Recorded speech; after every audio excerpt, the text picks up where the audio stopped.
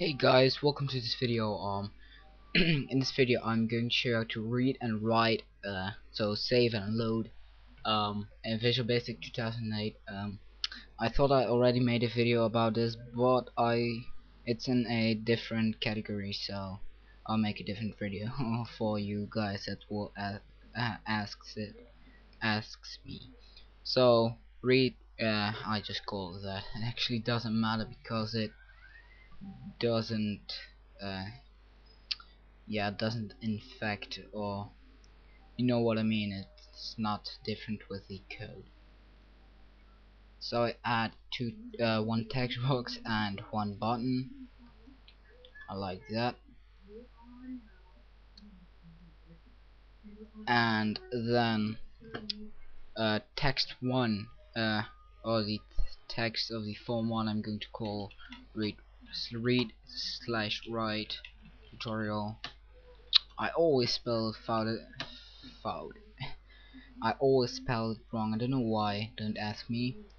But okay. So the text of button 2 is going to be save and the text of button 1 is going to be load. Like that. Double click on the save button and type in dim uh, let's see. Sorry. Okay it's safe. So dim. Right. Line. As. As. So as. New. It's very important. I in the previous attempt of making this tutorial I forgot the new and it was all just messed up. So uh, dim. Right line as new. Don't forget the new. And then system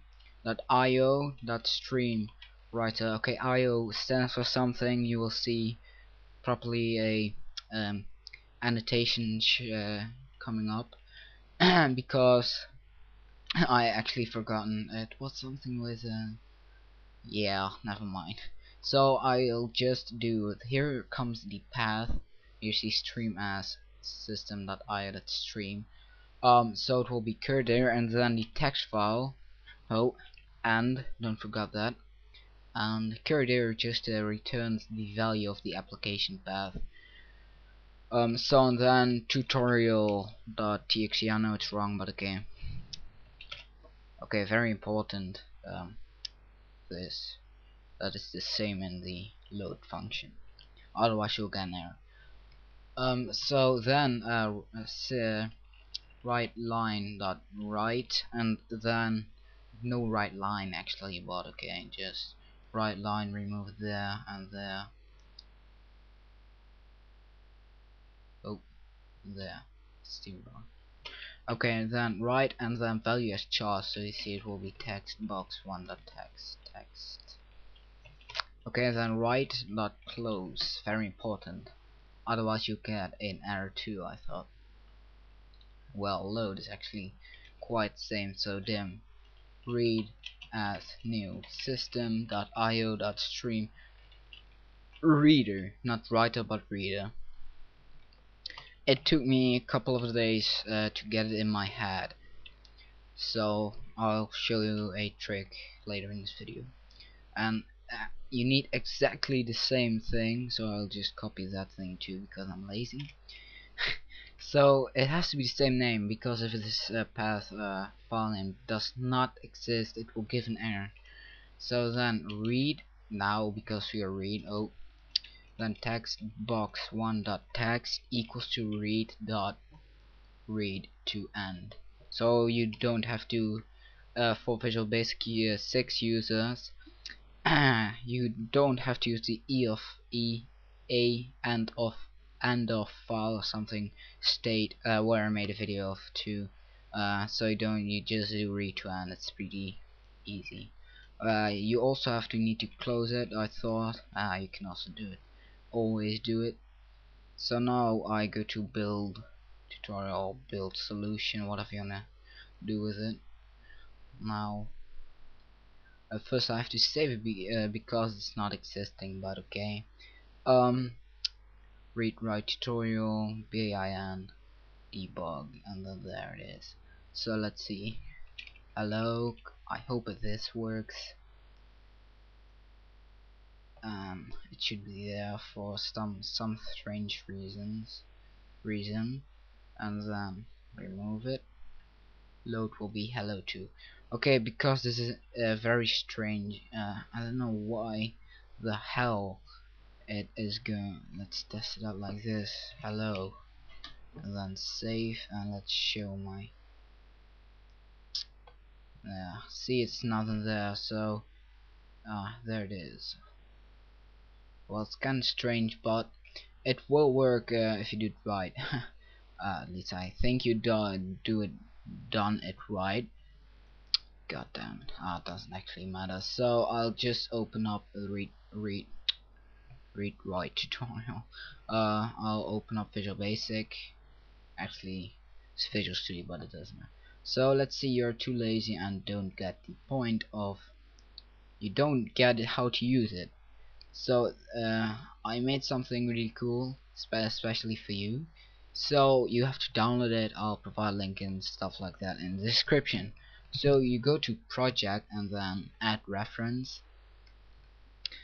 and then when it's popped up you select the uh, tab browse.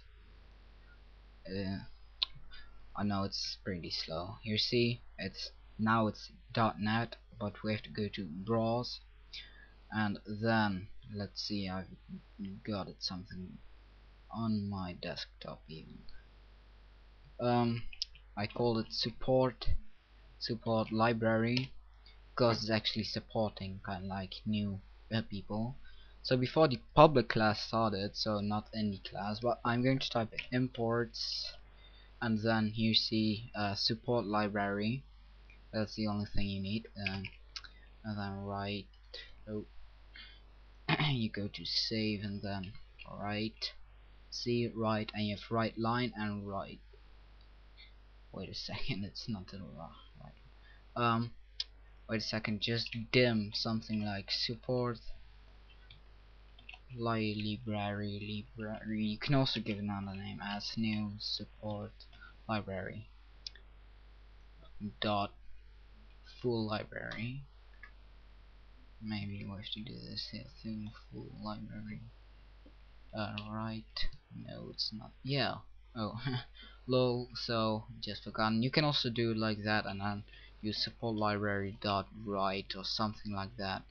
It actually doesn't matter so you can write and then uh, it will ask you for the path as string so it's kind of like self-explaining.